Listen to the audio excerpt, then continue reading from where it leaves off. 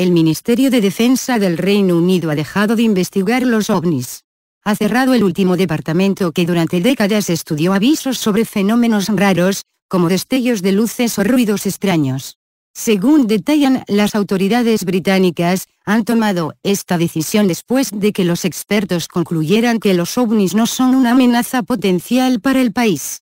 Durante los últimos 50 años no ha habido ninguna prueba de que una amenaza semejante exista, acentuó un portavoz del ministerio y agregó que seguir investigando los ovnis demandaría muchos esfuerzos y recursos que será mejor redirigir a otros objetivos más relevantes.